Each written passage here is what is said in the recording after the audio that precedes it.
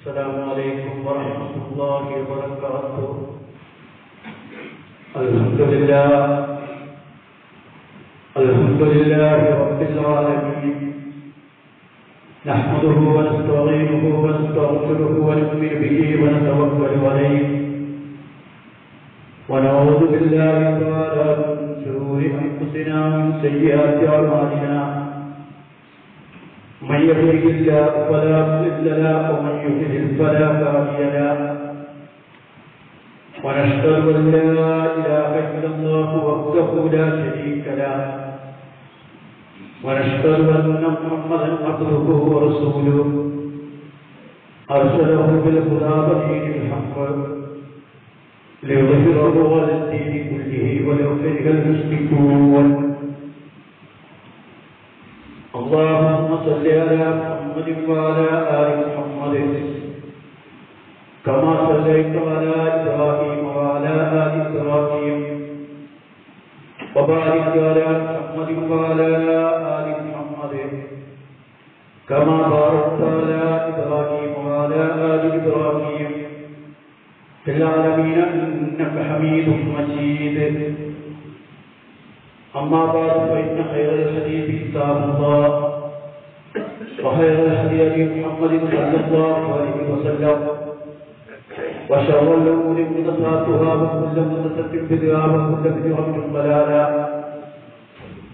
أيها الناس أوصيكم ونفسي أولا بتقوى الله. أعوذ بالله السميع العليم من الشيطان الرجيم. وآخذ القربى حقه والمسكين ومن السبيل. ولا تبذر تبذيرا. إن المبذرين كانوا إخوان الشياطين. وكان الشيطان لربه كفورا. شكرا. رب اشرح لي صدري ويسر لي أمري. واحلل عقدة من لساني يفقهوا قولي ആദരണീയരായ സഹോദരന്മാരെ സഹോദരികളെ അള്ളാഹു സുബ്ഹാനഹുവതആല നമ്മെല്ലാവരെയും അനുഗ്രഹിക്കുമാറാകട്ടെ അള്ളാഹുവിന്റെ പരിശുദ്ധ ദിനമനുസരിച്ച് ജീവിക്കുവാൻ നാം ഓരോരുത്തരെയും ആദ്യമായി വസിയത്ത് ചെയ്യുന്നു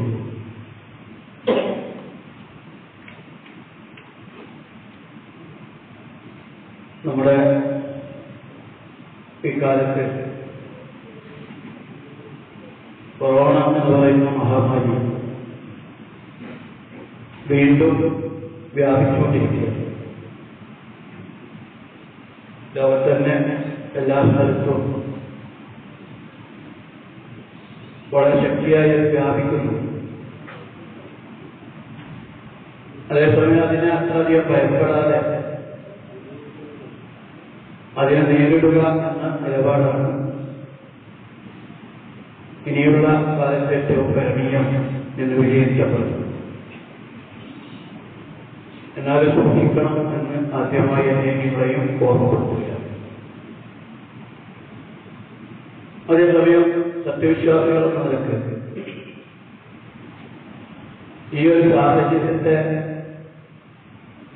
അവലോകനം ചെയ്യുന്നത് നല്ലതായിരിക്കും ഒരു മഹാമാരി മൂലം ലോകത്തിന്റെ താഴ്ന്നു തെറ്റിക്കൊണ്ടിരിക്കുന്ന ഒരവസ്ഥ സാമൂഹിക സാമ്പത്തിക അവസ്ഥകളെ വളരെ പ്രതികൂലമായി ബാധിക്കുന്നു നമ്മുടെ ആരോഗ്യത്തെ വളരെ വിഷമകരമായ അവസ്ഥയിൽ എത്തിക്കുന്നു. ഇത് ആവർത്തിച്ചുണ്ടാകുന്നതിന് വിശ്വാസി ഒരു വിശ്വാസ കാഴ്ചപ്പാടുകൾ വിലയിരുത്തുന്നത് നല്ലതായിരിക്കും സാധാരണ ചെറിയ ചെറിയ ശിക്ഷകൾ നൽകും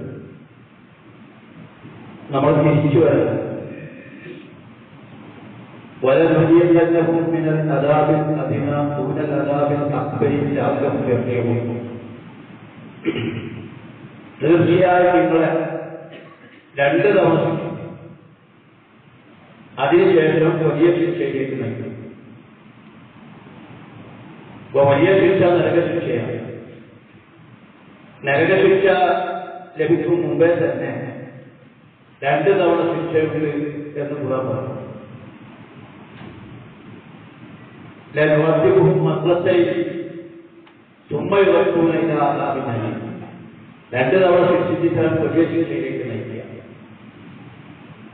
അതിനെക്കുറിച്ച് മുഖസ്തുകൾ പറയുന്നത് ദുനിയാവിലെ പരീക്ഷണങ്ങളും അവരുടെ ശിക്ഷകളുമാണ്.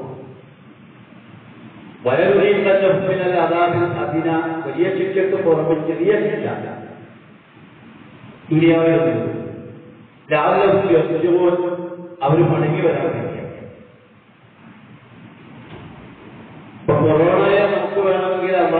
പരീക്ഷണമായി ശിക്ഷയായും ഒക്കെ സ്വീകരിക്കാം. പക്ഷെ അത്തരം പരീക്ഷണങ്ങൾ വരുമ്പോൾ തിരിച്ചു വരവ് ഏതൊരു വിഷയത്തിന്റെയും ഒരു ഭൗതിക വിശകലനവും ഒരു ആത്മീയ വിശകലനവും ഭൗതിക വിശകലനം എന്ന് പറഞ്ഞാൽ ഞാൻ സൂചിപ്പിച്ചതാണ് നമ്മളൊരു തെറ്റ് ചെയ്യുമ്പോൾ അതിലൊരു പ്രത്യാഘാതം ഉണ്ടാവും. അതിനെ വേണമെങ്കിൽ ഭൗതികമായിട്ട് വ്യാഖ്യാനിക്കാൻ പറ്റും. പക്ഷെ ആത്മീയമായ ഒരു വ്യാഖ്യാനം ആ തെറ്റ് ചെയ്തതിന്റെ ശിക്ഷയായി കാണാം നമ്മളൊരാളുടെ പൈസ ചെറുതായിട്ടൊന്നും അവസരിക്കുന്നു പക്ഷെ വേറൊരു വിഷയത്തിൽ വലിയൊരു ചർച്ച നമുക്ക് നഷ്ടപ്പെടും നഷ്ടപ്പെട്ടതിന് ഒരു കാരണം. പക്ഷെ വിശ്വാസം വിശകലനം ചെയ്യേണ്ടത് നേരത്തെ ചെയ്ത കൃത്രിമത്വത്തിന്റെ ശിക്ഷയാണ്.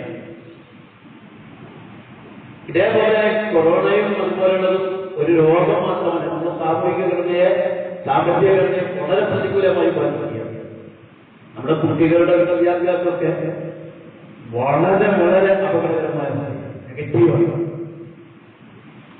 ഒരു ഡിഗ്രി ഫൈനൽസൊക്കെ ഫൈനലൊക്കെ പഠിക്കുന്ന കുട്ടികളുണ്ട് അവർ കഴിഞ്ഞ രണ്ട് വർഷം വേണ്ട പോലെ പഠിച്ചിട്ടേ.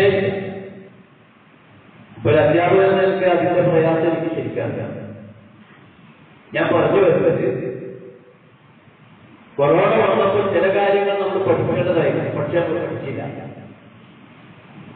അള്ളാഹുന്റെ റസൂൽ ഒരു ഹദീസിൽ വിശദീകരിക്കുന്നു. അബ്ദുല്ലാഹി റിപ്പോർട്ട് ചെയ്ത ഒരു ഹദീസ്. ലം ഫാഹിഷത്തു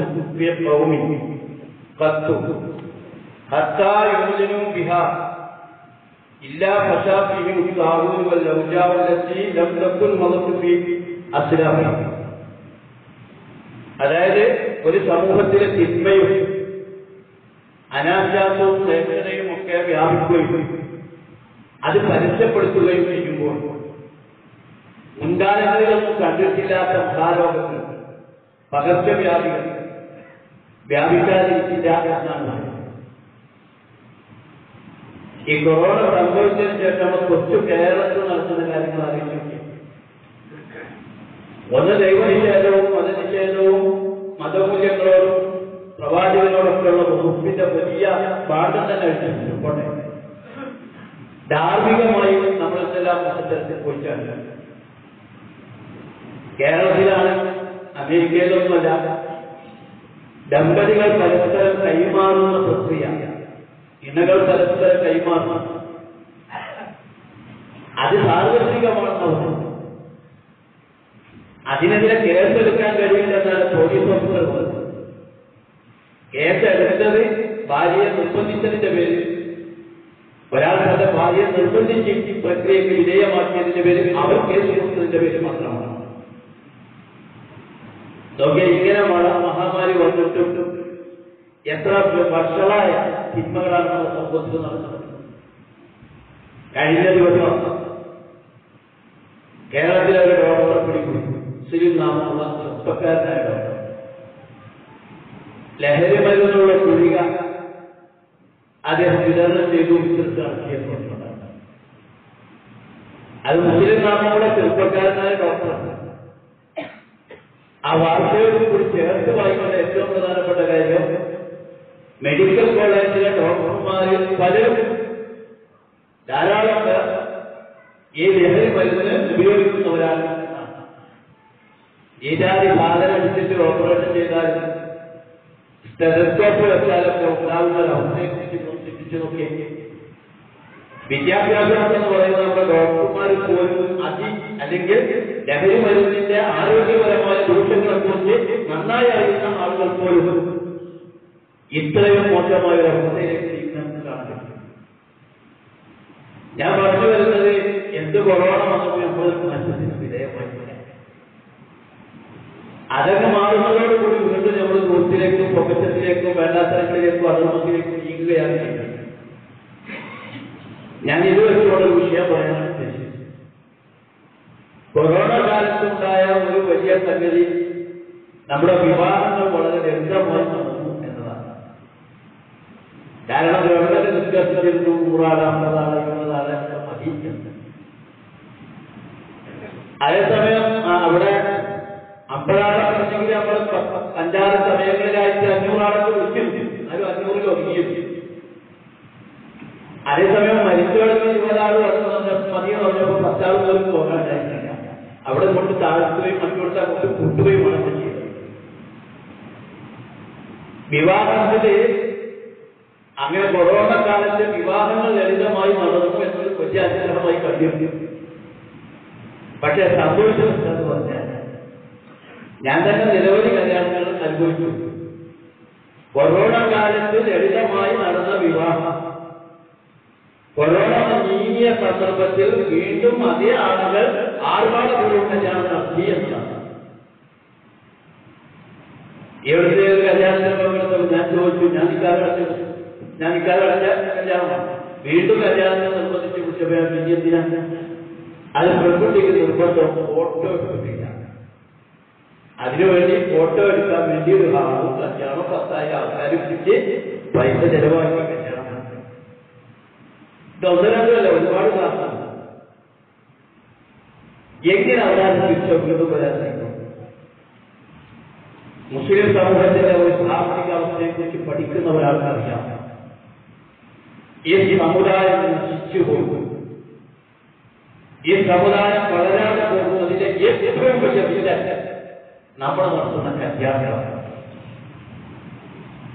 അത് നമുക്കത് അർത്ഥമില്ല നമ്മൾ വിചാരിക്കും എന്തൊരു കല്യാണം പക്ഷെ എപ്പോഴോ കോടി രൂപ കൊച്ചു കേരളത്തിൽ പോലും മുസ്ലിം സമുദായത്തിൽ നിന്ന് വിവാഹത്തിന്റെ പേരിൽ ദൂർത്തരിക്കപ്പെടും നശിപ്പിക്കപ്പെടും നമ്മുടെ വിവാഹത്തിലെ മണവാട്ടി ഒന്നോ രണ്ടോ മണിക്കൂർ ധരിക്കാൻ വേണ്ടി എടുത്തിരുന്ന വസ്ത്രം അതിന്റെ ലക്ഷങ്ങൾ വില വരുന്ന വസ്ത്രങ്ങളാണ് വരുന്നത് ഒരു പരിപാടി രണ്ട് ലക്ഷം വരെ വസ്ത്രം ധരിക്കുന്ന വസ്ത്രം വില വരുന്ന വസ്ത്രം ധരിച്ച് മണവാട്ടി വിൽക്കുന്നു എന്ന് ഞാൻ പ്രസംഗിച്ചപ്പോൾ പ്രസംഗം കഴിച്ചപ്പോൾ രണ്ട് സുഹൃത്തുക്കളൊക്കെ കൂട്ടിക്കൊണ്ടുപോയിട്ട് പറഞ്ഞു ഇവളും ഒരു പത്തിരുപത് കൊല്ലം മുമ്പാണ് അല്ലേ ജീവിക്കുന്നത്. അപ്പൊ ഞാൻ ചോദിച്ചു എന്താണ്? രണ്ട് ലക്ഷത്തി എന്നോ പോയിട്ടുണ്ട്. ഞങ്ങൾക്ക് കൃത്യമായി അറിയാം എട്ട് ലക്ഷമോ ഒമ്പത് ലക്ഷമൊക്കെ വിലയുള്ള വസ്ത്രം വരെ ധരിക്കുന്ന അത് വാഴുന്ന മുസ്ലിം കുടുംബങ്ങൾക്ക് എന്തൊരു അവതാരം ഔദാര്യം ഒരു ആൾക്കാർക്ക് ഭക്ഷണം കൊടുക്കാൻ ആ ഭക്ഷണത്തിന് നാനൂറ് അഞ്ഞൂറ് വില രൂപ വില വില വരുന്ന ഒരു പ്ലേറ്റിന് വില വരുന്ന ഭക്ഷണം കൊടുക്കണേ ആ ഔദാര്യം മനസ്സിൽ അമുഖത്തിന്റെ നാട്ടുകാരൊക്കെ ഭക്ഷണം കൊടുക്കണം. സകല അധികമോട്ടുണ്ടാക്കിയ ഭക്ഷണം വലിയ വില കൊടുത്തിട്ട് നമ്മൾ ധാരാളം ആളുകൾ കുറിച്ച് വിവാഹം നടത്തും അതേസമയം ചെറിയ രൂപത്തിൽ ആളുകളെ സഹായിക്കാൻ ഭക്ഷണം കൊടുക്കാൻ തയ്യാറുണ്ടോ എന്ന് ചോദിച്ചാൽ ആരും തയ്യാറില്ല യഥാർത്ഥത്തിൽ വിവാഹങ്ങൾ വലിയ നഷ്ടമുണർത്തി വെച്ചു നമ്മൾ ആദ്യം മനസ്സിലാക്കണം വിവാഹത്തെ ഇസ്ലാം പറഞ്ഞത് ഒരു വലിയ വിവാദത്തായില്ല വലിയ വിവാദത്താണ്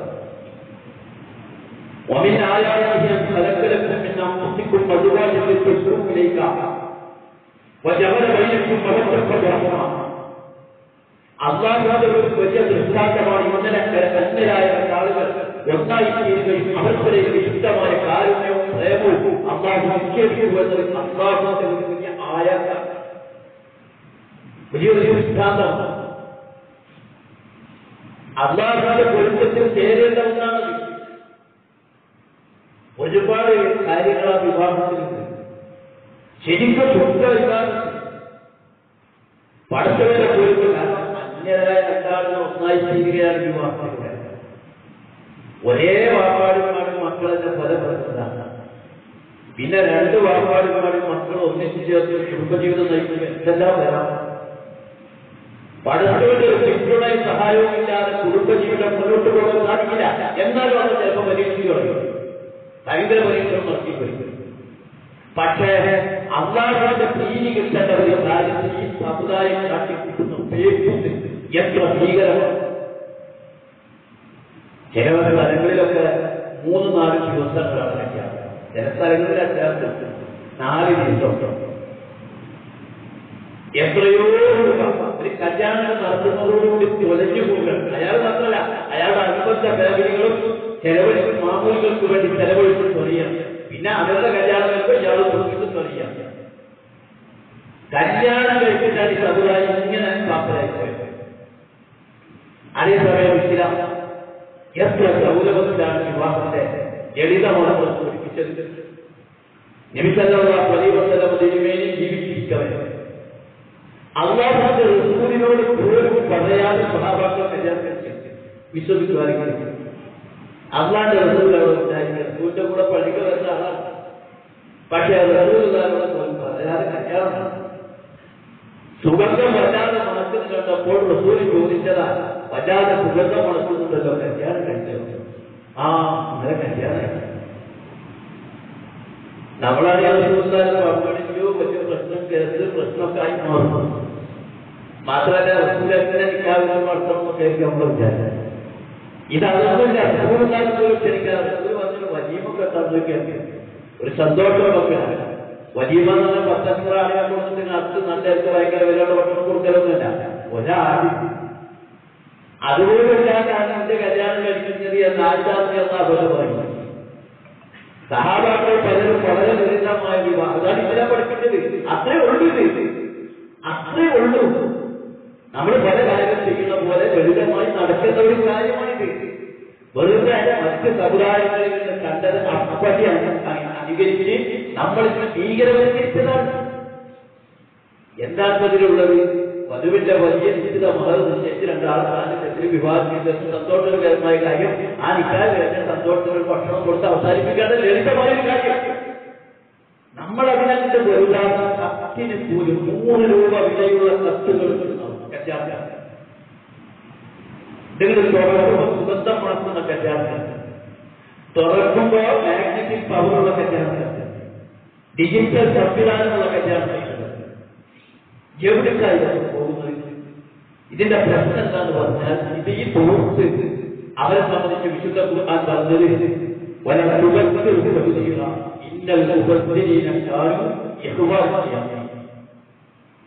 നിങ്ങൾ ദൂരത്ത് നടത്തരുത് പിശാചുക്കളുടെ സഹോദരന്മാരാണ് പിശാച നിങ്ങളുടെ ശത്രുവാണ് ഒന്നാമത് വലിയ പൈസത്ത് ദൂർത്ത് നടത്തുന്ന വിചാരം. ഞാൻ വലിയ മുതലാളിയാണ് എന്നുള്ള വിചാരം. ഈ കാശ് എന്റെ കണ്ടാത്ത വിചാരം. എന്റെ ഒരു പരിസരത്തിലുള്ള കോട അയാളെ മനസ്സിലാക്കണം. അയാൾ വെറുക്കൈയോടെ ഭൂമിയിലേക്ക് വന്നാൽ വെറുക്കൈയോടെ തിരിച്ചു പോകേണ്ടവനാണ് ദുനിയാവിൽ കിട്ടിയ സകല പൈസയുടെ കണക്കും لا تزول قدر عبد حتى يسأل عن نفسه فيما فعل وعن ماله من أين تسوء فيما فكره സമ്പത്ത് എവിടെ ചെലവഴിച്ചു എവിടെ നിന്ന് കിട്ടിയെന്ന് ഓരോ കണക്കും പറയാതെ ആരും സുഖം പുറത്താൻ അനുവദിക്കില്ല അയാളെ പറ്റില്ല നമ്മുടെ കയ്യിലുള്ള കാശ് അൽമാരി മാറുക അന്നാണ് പൈസയാണ് പടച്ചോന്റെ മുതലാണ് തൽക്കാലം പഠിപ്പിച്ചതാണ് പടച്ചോന്റെ മുതലെടുത്ത് തിന്നാൻ പറ്റിയ മുതലാളിയാണ് ഇവര് കാണിച്ച് സ്വന്തം കല്യാണത്തിനോ സ്വന്തം മകളുടെ കല്യാണത്തിനോ നാട്ടുകാർക്ക് ഗമനിക്കുന്നവൻ താൻ വിശുഭാരിയാക്കി അയാൾ വിശാലിക്കുന്ന സഹോദരന്മാരെ വിശാലത കലിന് ഈമാനുമായി ബന്ധപ്പെട്ട والذين إذا أنفقوا لم يسرفوا ولم يقتلوا وكان بين ذلك قواما നിങ്ങൾ ചെലവഴിക്കുന്ന ഗ്രൂപ്പ് കാണിക്കരുത് പുഷ്പം കാണിക്കരുത്. ഒരു പത്ത് നിലപാട് നിങ്ങൾ സ്വീകരിക്കണം. ഇത് നമ്മൾ ഈ വിഷയത്തിൽ വളരെ വലിയൊരു വിപ്ലവത്തിന് നടത്തിയിട്ടില്ലെങ്കിൽ അവരുള്ളതിൽ നിന്ന് വീണ്ടും വീണ്ടും തൊലഞ്ഞു തൊലഞ്ഞു തൊലഞ്ഞു മുസ്ലിം സമൂഹത്തിന്റെ സോഷ്യൽ എഞ്ചിനീയർ ശരിക്കും നമ്മൾ പഠിച്ചാൽ കൃത്യമായി നമുക്ക് മനസ്സിലാവും. നമ്മൾ കുറച്ചു കാലം ചെറുത കല്യാണം നടത്തിയൊക്കെ ഈ സമുദായം രക്ഷപ്പെടും. കാരണം മധ്യഭാരത്തിൽ അധികം പൈസ സമുദായത്തിന് ജനകരാണ് പലിശ വാഴാത്തവർ കൊടുക്കാത്തവരുമായ വലിയ സമൂഹം ഇതിലുണ്ട് സാമ്പത്തികമായി നമ്മൾ രക്ഷപ്പെടാവുന്ന ചില അനുകൂല വശങ്ങൾ ഈ സമൂഹത്തിനുണ്ട് സദർഭയിൽ സർക്കാർ കോടികൾ നമുക്ക് കൊടുക്കുന്നുണ്ട് നമ്മളെ ഏറെ പല ആളുകളും നമ്മളോട് ചോദിക്കുന്ന ചോദ്യം കല്യാണത്തിന് സർക്കാർ കൊടുക്കാൻ പറ്റുമെന്നാണ് ഞാൻ കൊടുക്കുന്ന കല്യാണത്തിന് സർക്കാർ കൊടുക്കാൻ വീടൂല. പിന്നെ അതിന് തർക്കിക്കാൻ വന്നിട്ട് കാര്യമില്ല. കാരണം ഈ സർക്കാർക്ക് കൊടുക്കുന്നത് പൊങ്ങച്ചത്തിനും ആർഭാടത്തിനും വേണ്ടിയിട്ടാണ് ഉപയോഗിക്കുന്നത്. പല വിശേഷമായ കാർഷകവൻ മുതലാളിയെ പോലെ കല്യാണം നടത്തുമ്പോൾ അയാൾ ഈ സമൂഹത്തിന് കൊടുക്കുന്ന മെസ്സേജ് ഈ സമൂഹത്തിൽ നിൽക്കണം. ഇത് വെച്ച കല്യാണം നടത്തണമെന്ന മെസ്സേജാണ് ഇതുകൊണ്ട് ആ വീട്ടിൽ നാല് തര ഇറച്ചി വന്നാൽ പിന്നെ ഞാൻ മുട്ടിന്റെ രണ്ട് തര മൂന്ന് തര ഇറച്ചിയെങ്കിലും വേണ്ടേ? രാത്രി രണ്ട് വിഭവങ്ങളും വേണ്ടേ? പുതിയ അളവ് നാട്ടിലുള്ള ബിരിയാണികൾ വരുമ്പോൾ സാധാ ബിരിയാണി മന്തി ബിരിയാണി മറ്റേ പുടി ബിരിയാണി ഒക്കെ ഒക്കെ കൊടുക്കട്ടെ. ഏതാണ്ട് കുറച്ച് ആളുകളല്ലേ വിളിക്കുന്നത് ആളുകൾക്ക് പട്ടിണിയോ കഷ്ടപ്പാടോ കൊണ്ട് ആദ്യമായിട്ട് ഒരു ബിരിയാണി തരുന്നത് ഒരാൾ സാധാരണ എൺപത്തെട്ടിട്ട് വന്നിട്ട് പറഞ്ഞ് എനിക്ക് എട്ട് കല്യാണമാണ് എന്താ ചെയ്യാ? എനിക്ക് ഇന്നലെ പന്ത്രണ്ട് കല്യാണമാണ്. കാരണം ഒരാൾക്ക് എട്ടും പത്തും പന്ത്രണ്ടും കല്യാണം വരും. കാരണം ഓരോരുത്തരും വിളിക്കുന്ന രണ്ടായിരം മൂവായിരം നാലായിരം ആളുകളെയാണ്. മാറട്ടെ പഠിത്തം ഒരു കല്യാണം കല്യാണങ്ങളൊക്കെ പ്രയാസങ്ങളാവും പഠിത്തത്തിന്റെ പഠിത്തത്തിണ്ടാവില്ല അതുകൊണ്ട് വിവാഹത്തിന്റെ പൂർത്തിനം പരമപുരുഷാകാൻ ലളിതമായ വിവാഹം നടത്താൻ നമുക്ക് സാധ്യമായിരിക്കും പൂർത്തും പറഞ്ഞത് കുറച്ചൊരു ഇഷ്ടക്കാരില്ല കാരണം നമ്മളെ വയസ്സെടുത്തിട്ട് വേറൊരാൾക്ക് ഒന്നറ്റം കാണിക്കുന്നത് നമുക്ക് സഹിക്കും അന്നല്ല അന്നാടെ മുതലെടുത്തിട്ട് തന്റേതാണെന്ന ഗമ കാണിച്ച് അതില്ലാത്തവരുടെ മുമ്പിൽ മിച്ച ഗമ കാണിക്കലാണ് പൂർത്ത് നമുക്ക് നോക്കിയിരിക്കുന്നത് നമ്മുടെ ഈ ഭക്ഷണം പോലും കൊണ്ട് വലിയ പ്രശ്നമാണ്. കാരണം ഇതാ നാട്ടിൽ ആരെങ്കിലും വസ്ത്രം കിട്ടാതെയോ കിടക്കുകയോ ചെയ്യുന്നുണ്ടെങ്കിൽ അതിന്റെ കാരണക്കാർ ആ സമുദായത്തിലെ മുതലാളിമാരാണ്. അന്ന് കൊടുക്കാത്തതല്ല ഈ രാജ്യത്തെ പട്ടിണി കിടക്കുന്നുണ്ടെങ്കിൽ അന്താം ഭക്ഷണം കൊടുക്കാൻ പറ്റില്ല ലോകത്ത് ദാരിദ്ര്യം അനുഭവിക്കുന്നുണ്ടെങ്കിൽ അന്താം ഭക്ഷണം കൊടുക്കാൻ പറ്റില്ല ലോകത്തെ എഴുന്നൂറ് കോടി മനുഷ്യർക്ക് സുഭിക്ഷമായി ജീവിക്കാവുന്ന സമ്പത്ത് അള്ളാഹുമാരെ നൽകിയിട്ടുണ്ട് അപ്പൊ ഭക്ഷണത്തിന്റെ കാര്യം ഞാൻ പറയുമ്പോൾ എഴുന്നൂറ് കോടി മനുഷ്യർ ലോകത്തുണ്ട് എഴുന്നൂറ്റി അമ്പത് കോടി മനുഷ്യർക്ക് സുഭിക്ഷമായി ഭക്ഷിക്കാവുന്ന ഭക്ഷ്യധാന്യം ലോകത്ത് ഉത്പാദിപ്പിക്കുന്നു പക്ഷേ നൂറ്റൻപത് കോടി മനുഷ്യർ പട്ടിണി കിടക്കുകയാണ്. നൂറ്റൻപത് പട്ടിണി കിടക്കുകയാണ് കാരണം ഉള്ളവൻ പൊങ്ങച്ച നടത്തി വേദിച്ചാക്കി ഭക്ഷണം നൽകുന്നു. നോക്കി ഒരു കല്യാണത്തിന്റെ പിന്നാമ്പുറത്തൊന്ന് പോയി നോക്കി. ഒരു കല്യാണ വീട്ടിന്റെ കല്യാണ ഹാളിന്റെ പിന്നാമ്പുറത്ത് പോയി നോക്കി. പടുത്തിൽ എന്ത് ഭക്ഷണമില്ല ആ കല്യാണ വീട്ടിന്റെ പിന്നാമ്പുറത്തുള്ള ഭക്ഷണം ഉണ്ടെങ്കിൽ ആഫ്രിക്കയിലെ രണ്ട് ഗ്രാമത്തിന്റെ ഭക്ഷണം വെക്കണം നമ്മുടെ വീട്ടിൽ തന്നെ നമ്മുടെ സ്ത്രീകൾ ഭക്ഷണം വേസ്റ്റാക്കുന്നത് നമ്മുടെ അടുക്കളയിൽ പോയി നമുക്ക് പരിധി നോക്കി. കുറെ കളി ബാക്കി കുറെ പത്തിരി ബാക്കി കുറെ ചോറ് ബാക്കി കുറെ മറ്റത് ബാക്കി. നിങ്ങൾ മനസ്സിലാക്കണം. വടക്കേരിയിലെ രണ്ട് കുടുംബത്തിന്റെ ഭക്ഷണം നമ്മുടെ വീട്ടിൽ വടക്കൽ ചെയ്ത രണ്ട് കുടുംബത്തിന്റെ ഭക്ഷണം.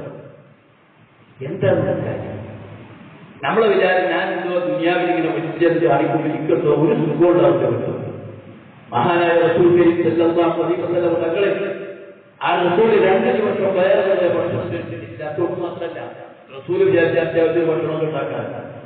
പക്ഷെ അത്രേ ഉണ്ടായിരുന്നു റസൂൽ വിചാരിച്ച തന്റെ അച്ഛനമാർ പറഞ്ഞു ഇഷ്ടം പോലെ അപ്പോഴും വിശന്ന് പൊരിഞ്ഞ് പുറത്തിറങ്ങുന്ന റസൂൽ കാരക്ക പറയുന്ന വീട്ടിൽ ചെന്നിട്ട് കാരക്ക വേണമെന്നല്ല അദ്ദേഹം വെറുതെ കാരക്ക വേണമെന്ന് ചോദിച്ചപ്പോ കൊടുത്തു. റസൂൽ വിശന്ന് പൊരിഞ്ഞ് സഹിക്കറ്റു കിട്ടിയെന്നറിഞ്ഞതാ അപ്പോൾ ആ കാരക്ക പറിക്കുന്നു അത് സ്വഭാവി. അപ്പൊ റസൂലിന്റെ റസൂൽ എന്നാ ഒരു കാരക്ക പറിക്കണം എന്നൊന്നും കൊടുത്തതാ. പക്ഷെ ഒരു ഒരു വെള്ളം കൊടുത്തു ആ കാരക്ക റസൂൽ കരഞ്ഞു. പൊട്ടിക്കരഞ്ഞു റസൂൽ. നമ്മൾ പഠിക്കേണ്ടതാ. ഖുർആാനി കേട്ടതാ അന്നാട് റസൂൽ കരഞ്ഞതാ. എങ്ങനെ? ഈ ഒരു കാലഘട്ടത്തിലുള്ള മറുപടി വരും. വെച്ചിട്ട് വേണ്ടിയിട്ട് മകന്റെ കല്യാണത്തിന് വേണ്ടി എത്ര ലക്ഷങ്ങൾക്ക് അഞ്ച് നയാ പൈസ ചെലവില്ലാതെ നടക്കുന്ന കാര്യ. അഞ്ച് നയാ പൈസ ചെലവ്. ഇനി എന്തെങ്കിലും പൈസ ചെലവുണ്ടെങ്കിൽ ആണിനാണ് ചെലവ്. ആണിനാണല്ലോ ചെലവ്. കാരണം മകൾ അയാൾ മാത്രമല്ല വലിയ അയാൾ പെൺകുട്ടിക്ക് പോലും ചെലവില്ല. നയാ പൈസ ചെലവില്ലാതെ ഈ ഒരു ഇസ്ലാം സെറ്റ് ചെയ്തിട്ടുള്ളത് ദയാ പൈസ ചെലവില്ല. എന്നിട്ട് ആ ആ കല്യാണം നടത്തുന്നത് പക്ഷെ അപ്പൊ അതിനെ ആക്കി തീർത്തൊരു അവസാനിച്ചു അവസാനം നമ്മുടെ നാട്ടിൽ മുസ്ലിം സമൂഹത്തിൽ പോലും വിവാഹം കഴിക്കാത്ത ആയിരക്കണക്കിന് പെൺകുട്ടികളുണ്ട് നമ്മൾ വിചാരിക്കുന്ന പോലെ തന്നെ ചില പ്രദേശങ്ങളിലൊക്കെ മലയോര ഗ്രാമങ്ങളിലൊക്കെ ഉള്ള മുസ്ലിം കുടുംബങ്ങളുടെ ദാരിദ്ര്യം ഭീകരമാണ്. കേരളത്തിലെ കഥയാണ് വടക്കേശ്ശേരില്ല മാത്രമല്ല എത്രയോ പെൺകുട്ടികൾ കാരണം കഴിക്കാൻ പറ്റുന്നില്ല. ഒരു കല്യാണം വേണ്ട ചെറുപ്പകാല കാര്യങ്ങൾ ആലോചിച്ചു ഇപ്പൊ വിവാഹപ്രായം ഗവൺമെന്റ് നിശ്ചയിച്ചതിനേക്കാളും കൂടുതൽ വലിക്കുകയാണ് മുസ്ലിം ചെറുപ്പക്കാർ ഇപ്പൊ മുപ്പത് വയസ്സ് മുപ്പത്തിരണ്ട് വയസ്സാണ് പലരും കല്യാണം കഴിക്കുന്നത് എന്താ? നല്ല ജോലി വേണം കാശ് വേണം കല്യാണത്തിന് മിനിമം ഒരു ചെറുക്കൻ കല്യാണം കഴിക്കണമെങ്കിൽ ഇരുപത് ലക്ഷം പത്ത് ലക്ഷം മിനിമം കാശ് വേണ്ടേ? കല്യാണത്തിന് വിളിക്കണം മറ്റേ ഹോൾ ബുക്ക് ചെയ്യണം അതാക്കണം ഇതാക്കണം സ്ത്രീധനം മേടിക്കുന്നില്ലെങ്കിൽ പത്ത് ലക്ഷം. ഈ പത്ത് ലക്ഷം മുപ്പത് വയസ്സാകുമ്പോഴേക്കും തന്നെ ആ കല്യാണം അനാശാസ്ത്ര പെരുകുന്നു തിരുവള്ളം പെരുകുന്നു ഇതൊക്കെ ഇല്ലാതെ. അതുകൊണ്ടാണ് ഞാൻ പറഞ്ഞു വന്നത് അസ്ലാഹിന്റെ റസൂൽ പോലും പ്രാർത്ഥിച്ചത് കുറെ ഭക്ഷണം കഴിക്കണമെന്നല്ല അള്ളാഹുവിന്റെ മുഹമ്മദിന്റെ കുടുംബത്തിന് അനിശ്ചിത ഭക്ഷണം തന്നെ മാമിൻ വലിയും പല പ്രത്യേകം ഓരോ മുതലാളിയും പാവപ്പെട്ടവരും പലരും ആഗ്രഹിച്ചു പോകും ദുനിയാവിന് അനിശ്ചിത ഭക്ഷണം തന്നെ തിന്നാ മതിയായിരുന്നു. ഒക്കെ കൂടി തിന്നിട്ട് വന്നുകൊണ്ട് നല്ലവും തിന്നാതെ പോയി. അതുകൊണ്ട് ഒരു വിപ്ലവം തീരുമാനിക്കണം എന്റെ ഓരോ ചെറുപ്പക്കാരൻ എന്റെ കുടുംബ ശ്രമിക്കുന്ന പെൺമക്കളുള്ള എന്നെ പെൺമക്കളും ഉള്ള മക്കളുള്ള രക്ഷിതാക്കൾ ഞാൻ പറയുന്നത് നമ്മൾ ആണത്തുള്ളവരും ശ്രദ്ധയോടുള്ളവരുമാണെങ്കിൽ ഇസ്ലാം പറഞ്ഞ പോലെ ലളിതമായ വിവാഹത്തിന്റെ സംഘത്തിലാണ് വളരെ ലളിതമായ ഒരു കല്യാണ വീട്ടിലും നാനൂറ് രൂപയുടെ അല്ലെങ്കിൽ മുന്നൂറ്റമ്പത് രൂപയുടെ ഭക്ഷണം കൊടുക്കുന്നതിന് പകരം നൂറ് രൂപയുടെ കുറച്ച് ആൾക്കാർക്ക് ഭക്ഷണം കൊടുത്താൽ മിച്ചപ്പെടുന്നത് ലക്ഷക്കണക്കിന് റുപ്യല്ല നിങ്ങൾ രണ്ട് പാവപ്പെട്ട കുട്ടികളെ കല്യാണം കഴിക്കുന്നതിലേക്കോ സേവനത്തിലേക്കോ വീട് വെക്കുന്നതിലേക്കോ കൊടുത്തൊക്കെ അതിൽ ഉണ്ടാക്കപ്പെടുന്ന കുടുംബം എത്ര വർക്കത്തുള്ളതായിരിക്കും ആ ദാമ്പത്യമാസിന്റെ വർക്കത്തുള്ളതായിരിക്കും ഇത് അതല്ല മണിയറ ചെന്നാലും ഭർത്താവ് ഭാര്യയുടെ അടുത്ത് ചെന്നാൽ രണ്ടുപേരും സുന്നത്ത് നമസ്കരിക്കണം എന്ന് ചില പഠിപ്പിക്കുന്നു. സുന്നത്ത് നമസ്കരിക്കാൻ മുരിഞ്ഞു നോക്കിയാൽ കട്ടിന്റെ അടിയിൽ ചെക്കന്മാരാ. വധുവിനെ പോലെ ഈ ജെ എന്ത് ഈ സമുദായം വധുവിനെ കൊണ്ടുവരുന്നത് ജെ സി ബിയിൽ ചെണ്ട കൊടുത്തിയിൽ തോന്നിവാസങ്ങൾ മണിയറയിലേക്ക് ചെറുക്കന്മാർ കയറി കൊള്ളുക അടികൂടുക ഇടികൂടുക. ഇത്രയും പവിത്രമായി പഠിപ്പിച്ച മുസ്ലിം സമുദായത്തിന്റെ അകത്ത് നടക്കുന്ന ഈ ജാതി ബുദ്ധികളുടെ മാറ്റാണ് അള്ളാഹുവിന്റെ വീര് പഠിപ്പിച്ച രൂപത്തിൽ വിവാഹം നടക്കാൻ നമ്മൾ ശ്രദ്ധ ഇപ്പൊ ഇന്ത്യ കേരളത്തിൽ മാത്രമല്ല ഇന്ത്യയിലെ മുസ്ലിം പെട്ടുള്ളവരോടൊക്കെ കൂടിയിട്ട് പല ടീമുകളും കൂടി ഇപ്പോൾ കൂടി ക്യാമ്പയിൻ ആരംഭിച്ചിരിക്കുകയാണ്. വിവാഹത്തിന് മാത്രം രണ്ട് വിവാഹത്തെ നന്മയും ചേർത്തിട്ടുണ്ട് എല്ലാ സഭ്യമാരും പ്രവർത്തിക്കുന്നതൊന്നും ശരിക്കും ആളുകൾ ഉദ്ബോധിപ്പിക്കണം ഞാൻ പറയുന്നത് നമ്മൾ ഞാൻ ബന്ധപ്പെട്ട് പറഞ്ഞവരെ ഞാൻ നിങ്ങളും തീരുമാനത്തിലെടുക്കുക ലളിത ഒരാളും കുറ്റം പറയില്ല ലളിത വിവാഹം ഒരാളും പറയില്ല പൊങ്ങച്ച കല്യാണം നടത്തിയവന്റെ ഭക്ഷണം അടിച്ചു വിട്ടിട്ട് ഒരു പൊങ്ങച്ച കല്യാണം പറഞ്ഞ് അയാളെ ശമിക്കാറില്ലാതെ ഒരു നന്മയും ഈ വിവാഹം നടത്തുന്നില്ല ഒരു നന്മയും അമ്മാപ്പിന്റെ മറുപട്ടുണ്ടാവില്ല അതുകൊണ്ട് ഈ കൊറോണ നമുക്ക് ഒരു നന്മ പഠിപ്പിച്ചെന്ന കുറച്ച് ആളെ നിർത്തി കല്യാണം നടത്തുക. തുടരുന്നതിന് പകരം കൊറോണ ജാതിത്തിൽ മാറിപ്പോഴേക്കും നടത്തിയ കല്യാണം തന്നെ ആ വീട്ടിൽ കൂത്തോട് കൂടി കല്യാണം നടത്തിയാൽ പടച്ച തമ്പുരാൻ ലോകത്തെ അമ്പാടെ മാറ്റില്ല. ഇതിനും പല വകഭേദങ്ങൾക്കും അഭിപ്രായമില്ല എന്നും ജാതിക ലോകമാണ്. ശാസ്ത്ര സാങ്കേതിക വിദ്യയുടെ മുന്നേക്കാട്ടം സാധനം നേടിയിരിക്കുന്നു വൈദ്യശാസ്ത്ര രംഗത്ത് ഭയങ്കര മുന്നേറ്റം. തേങ്ങ മാങ്ങാന്നൊക്കെ പറഞ്ഞിട്ട് പേര് ജീവിക്കണ്ട. പേടിച്ചലച്ച് ജീവിക്കണ്ട. ജീവിക്കേണ്ട പുറത്തിറങ്ങാൻ പശ്ചാത്തലത്തിൽ ജീവിക്കണ്ട. സ്വന്തം മുഖം വിധത്തിൽ ജീവിക്കേണ്ട. ഗതികേടിലേക്ക് നമ്മൾ എത്തിച്ചത് പഠിച്ചോന്റെ ചെയ്യാം മൂന്ത കാണിക്കാൻ പോലും പറ്റുന്നില്ലല്ലോ. മറ്റുള്ളവർക്ക് ദേഷ്യം കൊടുക്കാൻ പോലും പറ്റുന്നില്ലല്ലോ. സ്വന്തം കുഞ്ഞിനെ ചേർത്ത് പിടിക്കാൻ പോലും പറ്റുന്നില്ലല്ലോ. നാണം വീട്ടിനകത്ത് വർഷം ദിവസങ്ങളോളം വർഷങ്ങളോളം ഇരിക്കേണ്ട ഗതികളിലേക്ക് നമ്മളെ കൊണ്ട് എത്തിച്ചത് നമ്മുടെ അഹങ്കാരത്തിന്റെ ഫലമാണ്. എന്ന തിരിച്ചറിവായിരിക്കണം. ഞാനും നിങ്ങളും ഈ വിഷയത്തിൽ നിന്ന് പഠിക്കേണ്ട പാഠം എന്നാണ് എനിക്ക് ഓർമ്മപ്പെടുത്താറ് തീർച്ചയായും അള്ളാഹുവിലേക്ക് മടങ്ങുക പടച്ചവന്റെ വിജയിലേക്ക് മടങ്ങുക അള്ളാഹുവിന്റെ പരീക്ഷണത്തിൽ വിജയിക്കാൻ മുന്നേറുക. അള്ളാഹു നമ്മെ അനുഗ്രഹിക്കുമാറാകട്ടെ.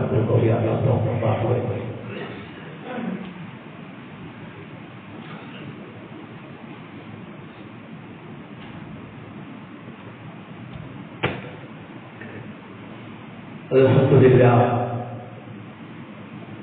الذي هدانا لهذا وما كنا لنهتدي لولا أن هدانا الله. صلى الله على سيدنا محمد وعلى آله وأصحابه أجمعين. إن يريد إلا الاصلاح ما استطعت وما توفيقي إلا بالله.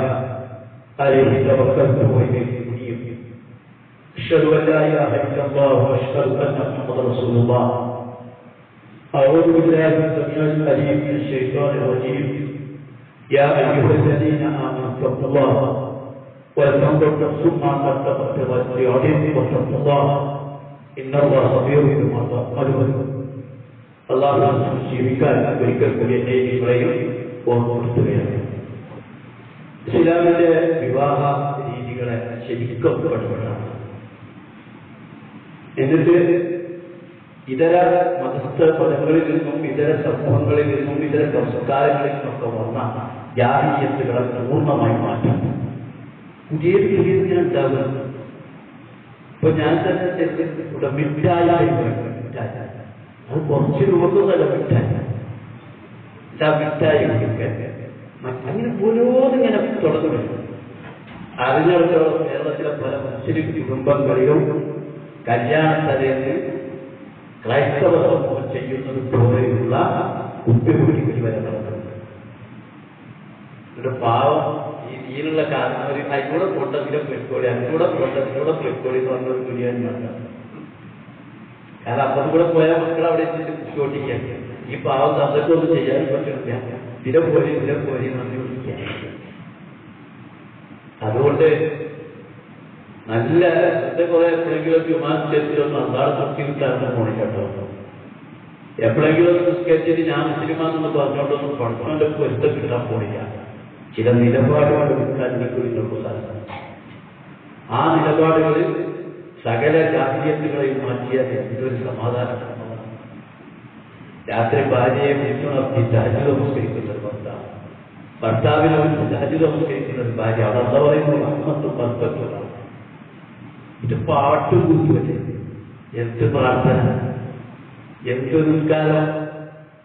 പാട്ടും പാട്ടും കൂത്തും പേക്കൂത്തും മാറ്റണമെങ്കിൽ എന്ന് നമ്മളൊക്കെ പ്രതിജ്ഞയെടുത്ത് അങ്ങനെ വന്നാൽ സമുദായം രക്ഷപ്പെടും സാമ്പത്തികമായി ഉയരും സാംസ്കാരികമായി വളരും ഔന്നത്യമുള്ളവരായി തീരും.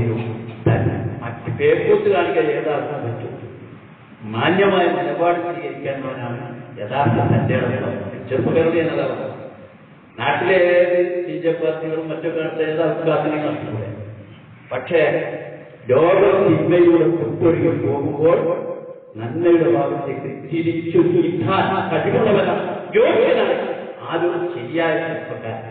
അവനാണ് സഞ്ചാരം ആ സഞ്ചാരങ്ങളുടെ കൂട്ടത്തിൽ ഉൾപ്പെടാനാണ് അള്ളാഹുന്റെ പൊരുത്തം പ്രതീക്ഷിച്ചുകൊണ്ട് പടച്ചവന്റെ പേര് കാണിച്ചുകൊണ്ട് ജീവിക്കുന്നവരാണ് യഥാർത്ഥത്തിൽ ശക്തനായ കരുത്തുള്ള ഈ മാറ്റുള്ള മനുഷ്യൻ. എന്നാണ് മനസ്സിലാക്കണം അള്ളാഹുത്താല നമ്മെ അനുഗ്രഹിക്കുമാറാകട്ടെ.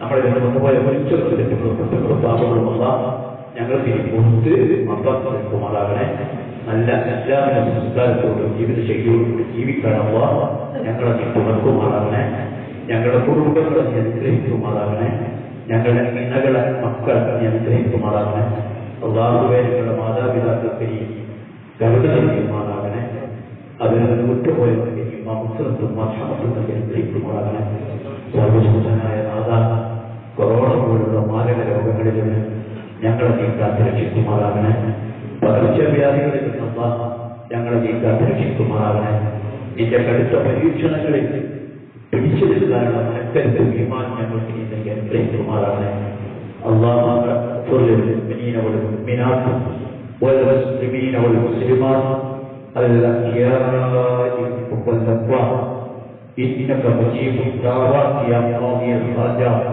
سيد الصراط وجعل الجنة مأواهم اللهم ربنا آتنا في الدنيا حسنة وفي الآخرة حسنة وقنا عذاب النار اللهم اعز الاسلام والمسلمين وأذل الشرك والمشركين ربنا ظلمنا أنفسنا وإن لم تغفر لنا وترحمنا لنكونن من الخاسرين.